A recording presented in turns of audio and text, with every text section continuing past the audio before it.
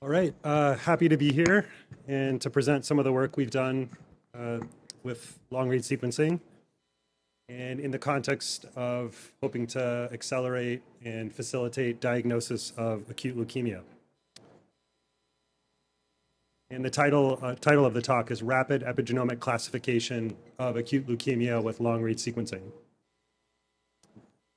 So leukemia diagnosis is an area that's very near and dear to my heart. I'm a, in my clinical role, I'm a hematopathologist. So our main you know, objective is to take samples from patients who are suspected of, of having acute leukemia and render a diagnosis that is fast, but also accurate and precise, or as, as precise as possible. And if anyone's ever looked at the WHO criteria for acute leukemia, uh, it's quite long. There are many, many different subtypes of acute leukemia. And that really reflects all the work, you know, work that's been done in leukemia diagnostics over, over decades. Listed here are just some of the main data points that we try to collect. There's morphologic analysis, which gets done pretty quickly, flow cytometry, immunohistochemistry for protein biomarkers, targeted gene sequencing, and cytogenetics. And we attempt to integrate all of these data types to come to uh, a leukemia classification. Now, as you can also see, this takes time. Uh, upwards of two weeks in many cases, and delays here can really prevent our clinical colleagues from, you know, having important conversations with family, planning out treatment strategies, and you know, really moving a patient along for, for optimal care. So we think there's a lot of room for improvement in this area. And our hypothesis going into this, this project was that epigenomic classification, including with long read sequencing of leukemia, will really improve this whole, this whole procedure. It'll be faster, more precise, and complementary to standard of care methods. Okay, so why, why would we hypothesize that? Why epigenomics for rapid leukemia classification? Well, the, the first point is that DNA methylation really has a key role in gene regulation and tumorigenesis generally. Uh, one area is in, in promoter methylation, where it's known to be involved in gene silencing. Uh, a cla- you know, classic examples of this are tumor suppressor inactivation, things like CDKN2A. And then also in leukemia in particular, there's recurrent alterations in DNA methylation pathways in genes such as DNMT3A or TET2. So we think there's a lot of reason to, to you know, capture methylation data for, for leukemia. The other uh, encouraging sign in, in this direction is that cancers are known to show distinct epigenetic states or epitypes that both recapitulate standard of you know standard categories but also can refine standard categories. This has been been shown both for CNS tumors on the left, where methylation based clustering beautifully resolves all the major molecular subtypes of, of CNS tumors, really allows us to go beyond histology in many cases. And then also in some uh, you know, focus studies in acute leukemia this beautiful one uh, uh, from, from Genome Research in 2021 looking at AML, where you can find very distinct epigenetic states in AML that correlate roughly with uh, standard genetic molecular categories. And then the last piece, which re was really the most critical for this, is that there's been you know, transformative new sequencing technologies for DNA methylation profiling in the clinic, and Oxford Nanopore uh, is, is really, I think, the leader here. Uh, the main I think point from a diagnostic standpoint is this technology allows for very, very simplified workflows and simplified sequencing such that you can actually be generating sequencing data in a matter of maybe an hour from the time that you get a sample, sample if not even faster than that. And this has been used already in, you know, intraoperatively in the setting of CNS tumors. And here's a beautiful study from 2023 that showed this including the whole detailed timeline going from sample collection to DNA isolation, library prep, and sequencing, all in a matter of an hour, uh, hour or more, ultimately leading to a precise methylation-based classification for for uh, you know CNS tumors, in this case a schwannoma. And then as a bonus, you of course get all the conventional genetic DNA sequencing with these runs, and this allows you to look at things like copy number alterations, uh, SNPs and indels, and, and gene rearrangements, all of which are really critical for leukemia classification as well. Okay, so the collaboration we had uh, on this project is shown here. Uh, folks from my lab, the Griffin lab, including uh, Reyes Capella and Andre Montaglione. a wonderful computational collaboration with the Hovestadt Lab at uh, Dana-Farber, including uh, Till Steinicke and uh, Salvatore Benfatto, who are the, the you know, trainees leading this. And then also a great clinical collaborator, Evan Chen at the Dana-Farber, who actually sees patients with, with leukemia. Okay, so an overview of our study. The first part was that we built a DNA methylation based reference of acute leukemia. This is across all le- acute leukemia lineages, so AML, TALL, and BALL. We did this through essentially collecting all of the published DNA methylation data uh, that, that is out there. This is for over two, 2,000 patients. And then using that data, we trained a, a neural network to classify acute leukemia, uh, acute leukemia subtypes solely on the basis of their methylation profiles. And then we applied this model in a real-time prospective manner to rapidly classify new patients with acute leukemia. And we'll, I'll go through this step by step. Okay, so first, curation of this pan-leukemia DNA methyl methylation reference, aggregating data from multiple studies you can see in the bottom right, clustering, and suffice it to say that methylation-based classification or clustering of, of acute leukemia very nicely separates out different acute leukemia lineages. So you can see in the upper right is AML, in the bottom is B-ALL or B-cell uh, leukemia, and then the upper left is T-ALL.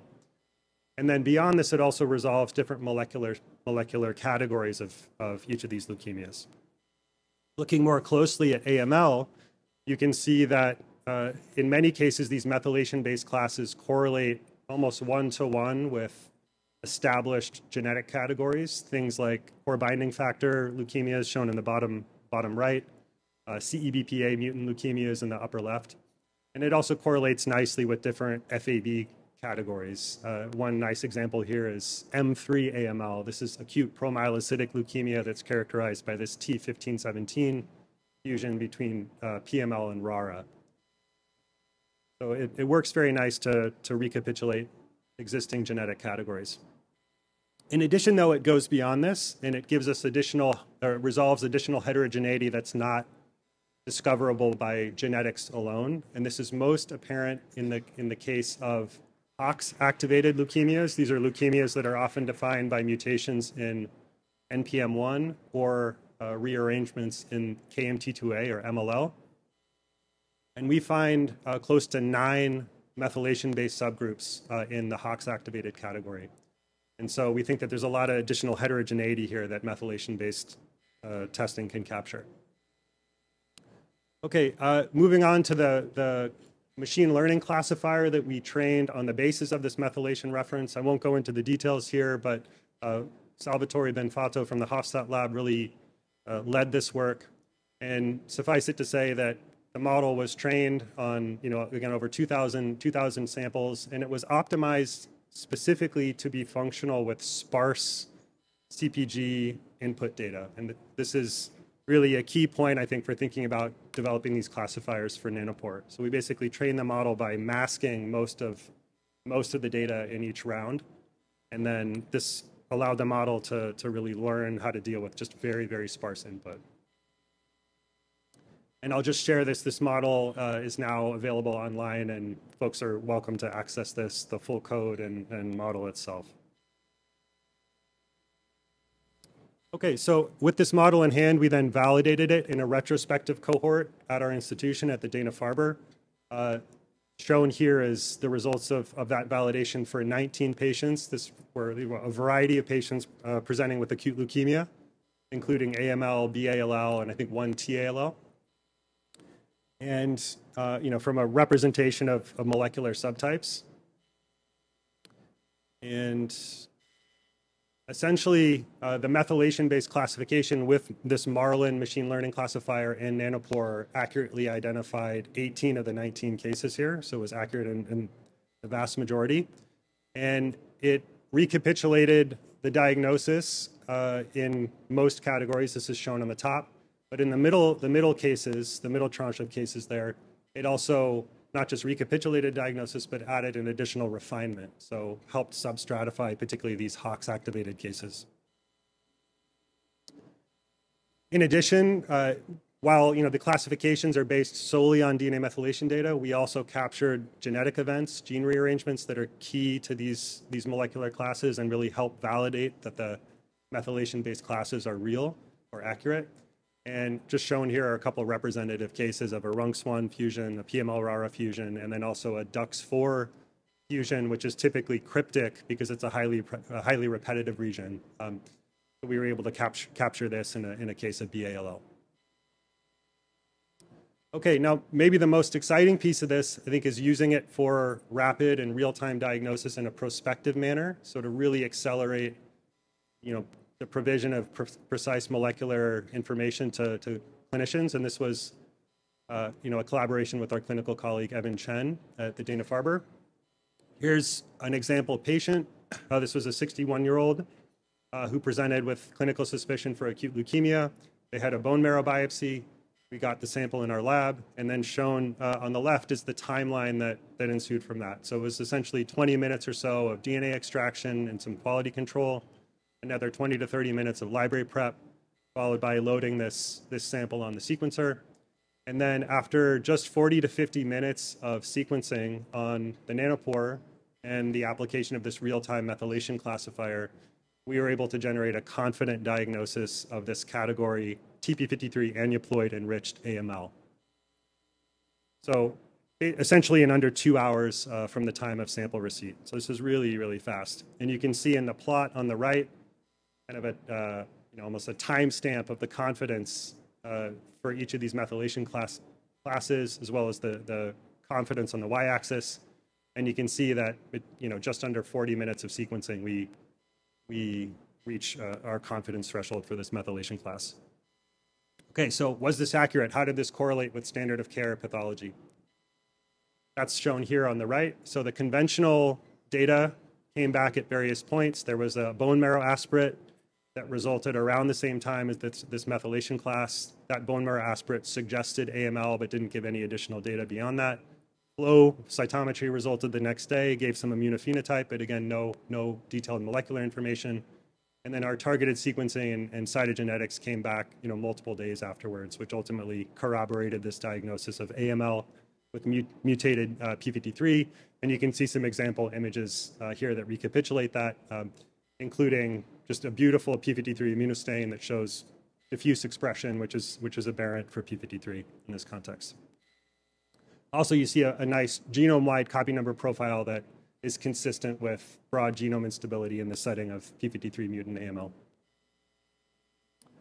I'll just highlight one additional case here. Uh, this is a 62-year-old, also suspected uh, for AML. Similar story, bone marrow biopsy, uh, rapid isolation of DNA, library prep, sequencing, ultimately coming to a, a methylation-based classification of AML Hox group 2 uh, under, in, in, in under 100 minutes. You can see the timestamp again. This correlated very nicely with conventional diagnostics, which resulted, you know, in the, a similar time frame, multiple days after, after sample receipt.